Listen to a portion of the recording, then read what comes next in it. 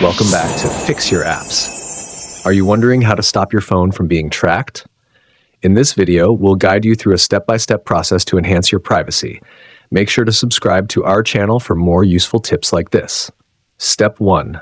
Open the Settings app on your Android device. It's the hub for controlling your phone's features, including privacy settings. Step 2. Scroll down and select Google. This is where most of the tracking related options are managed.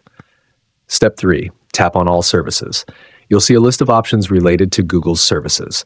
Step 4. Select Personalize using shared data, then disable all the options you see. This helps to limit personalized tracking.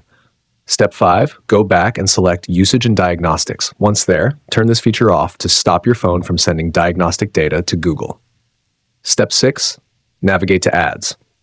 In this section, you can control how your data is used for advertising purposes. Step 7. Tap Reset Advertising ID or Delete Advertising ID, depending on the option available on your device. This resets or removes your unique ad identifier, making it harder for advertisers to track you. Step 8. Open Settings again. We're not done yet, there are more permissions to manage. Step 9. Scroll down to Apps or App Management. This is where you can control individual app permissions. Step 10. Locate and select Google from the app list. You'll need to tweak some specific settings here. Step 11. Tap on Permissions.